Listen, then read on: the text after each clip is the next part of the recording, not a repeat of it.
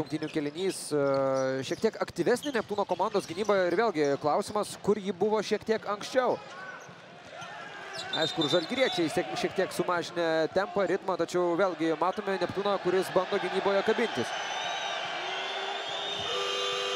Nu, Žalgirio arenos tribūnos įrodo, jog dar dalyvauja šiuose krepšinio rungtynėse, reaguoja į teisėjų sprendimus, kurie nepatinka.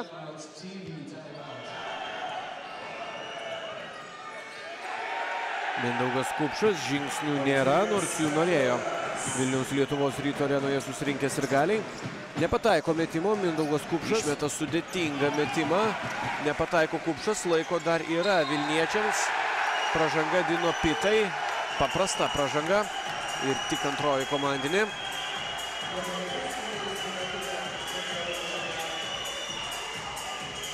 Gynyboje buvo būtent baudos aikštelėje. Žalgeris ir Lietuvos krepšinio lygoje labai met, mažai meta tritaškių, kaip ir Eurolygoje ir LKL čempionate mažiausiai atlieka tolyboje buvo būtent baudos aikštelėje.